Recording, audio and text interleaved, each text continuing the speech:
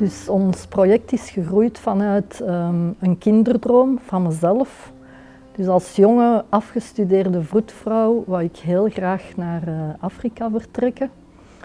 Um, maar spijtig genoeg uh, waren familie en ouders hier niet zo happig op. En ik heb die toen laten varen.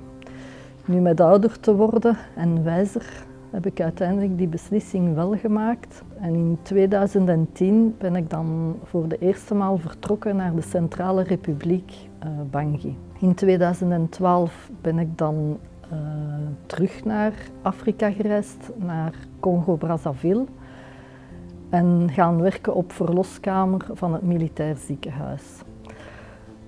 Dit is wel voor mij een uh, cultuurshock geweest. Dus die, die maand was echt wel genoeg. Ik heb daar uh, heel zware dingen gezien, overlijdens van zowel moeders als kinderen. Dus dat heeft uh, wel even nagewerkt. Maar uiteindelijk, 2013, ben ik toch teruggegaan.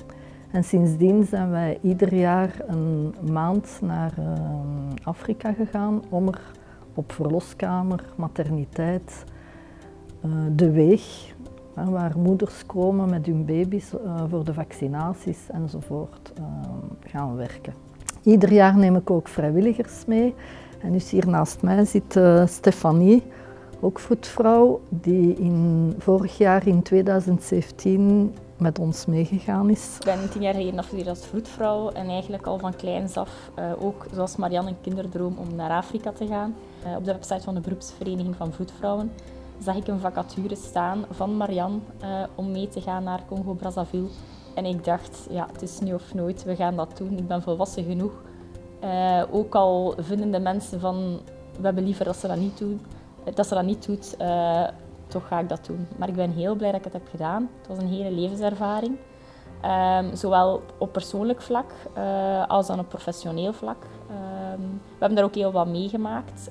Um, maar ik zou onmiddellijk zo terug opnieuw doen. En het is echt een aanrader, eigenlijk voor iedereen die in de gezondheidssector werkt, om de stap te zetten om toch uh, vrijwilligerswerk te gaan doen. Dit jaar is het thema dus de urgenties in de verloskunde wil zeggen uh, de bloedingen bij de, bij de moeder, de zwangerschapsvergiftiging met als gevolg de zwangerschapsstuipen, die toch levensbedreigend zijn, zowel voor moeder als kind.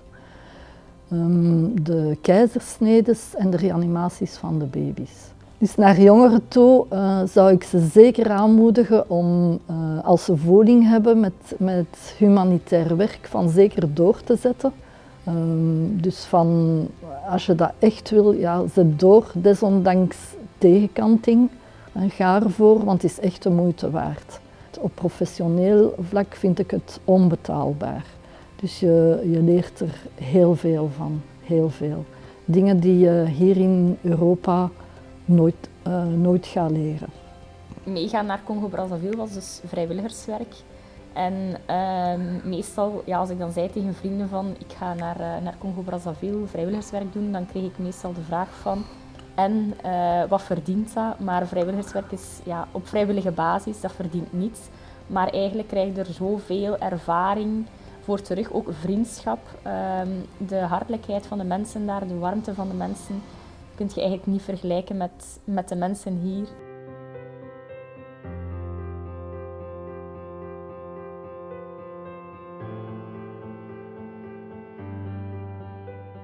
Dankjewel. Oh, ah, heel mooi. mooi. Dankjewel. Dat is tof. Dat is tof. Dat is mooi.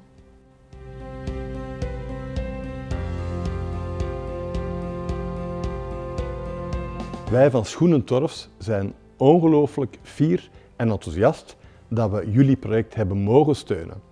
Het is echt een fantastisch project. En ik zou iedereen willen oproepen om zijn of haar steentje bij te dragen. Het is gewoonweg fantastisch.